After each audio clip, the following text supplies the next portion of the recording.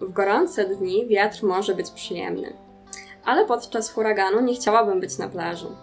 Zbyt silny wiatr może być niebezpieczny. Pokażę Wam dzisiaj, jak zmierzyć siłę wiatru.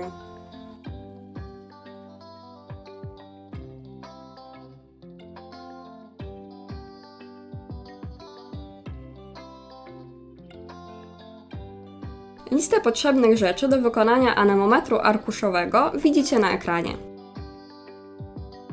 Najpierw przygotuję podstawę anemometru. W butelkach wycinam otwory, aby móc potem zamocować tam wykałaczkę. Następnie do butelek wsypuję piasek, który będzie pełnił rolę obciążenia.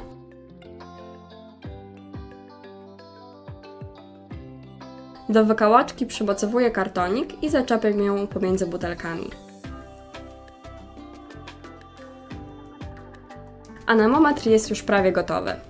Brakuje jeszcze kawałka tektury, na którym będziemy zaznaczać położenie arkusza anemometru. Przyklejam go do butelki i zaznaczam początkowe położenie kartonika. Następnie włączam wiatrak na małą moc. Zobaczcie, co dzieje się z anemometrem. Zaznaczam miejsce, do którego podniósł się teraz arkusz. Zwiększam moc wiatraka i zaznaczam kolejne położenie kartonika. Widzimy, że im silniejszy wiatr, tym arkusz podnosi się coraz wyżej. Listę potrzebnych rzeczy do wykonania anemometru czaszowego widzicie na ekranie. Najpierw przygotowuję czaszę.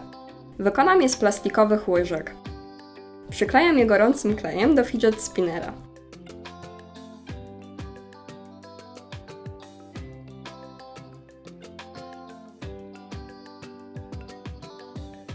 Pozostałą część jednej łyżki również przyklejam do spinnera.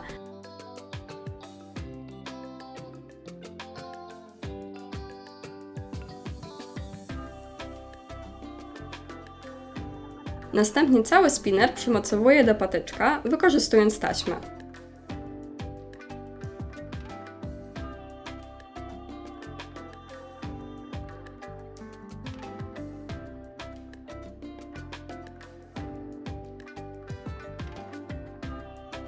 Tak przygotowany anemometr wstawiam do kubka z piaskiem. Możecie wykorzystać również butelkę z poprzedniego doświadczenia.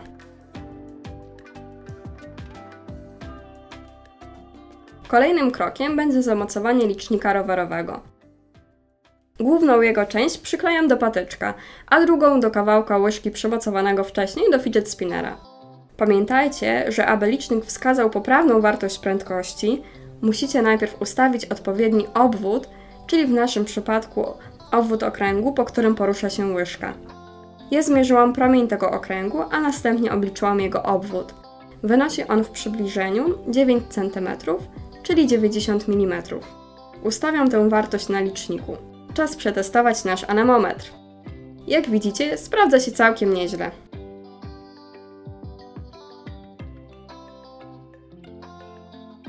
A czym właściwie jest wiatr? Wiatr jest to ruch dużych mas powietrza spowodowany różnicą ciśnień. Powietrze porusza się z obszaru o wysokim ciśnieniu atmosferycznym, czyli z wyżu, do obszarów o niższym ciśnieniu, czyli do niżu. A skąd biorą się niżej i wyżej? Są spowodowane różnicą w gęstości powietrza ciepłego i zimnego.